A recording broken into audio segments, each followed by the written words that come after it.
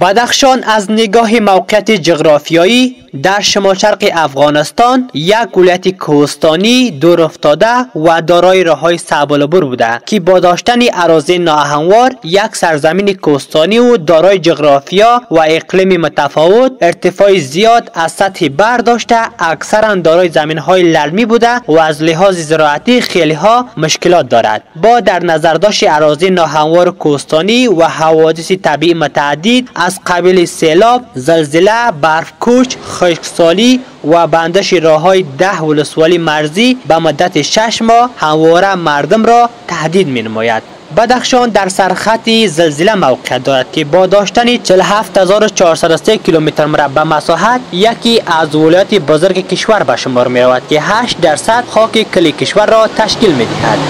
این ولایت با داشتن 28 واحد اداری به شمول مرکزی آن که حوزه فیضآباد است 2316 قریه و به تعداد 242132 خانواده و 1566682 نفر نفوس در آن زندگی می کند.